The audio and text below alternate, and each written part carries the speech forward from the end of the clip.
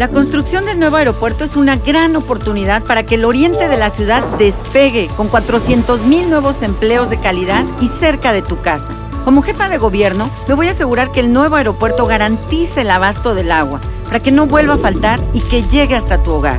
Lo vamos a lograr porque en el frente le vamos a entrar con todo, con determinación e inteligencia y porque lo haremos contigo. Este proyecto lo vamos a construir entre todos. Este es el renacimiento de la ciudad.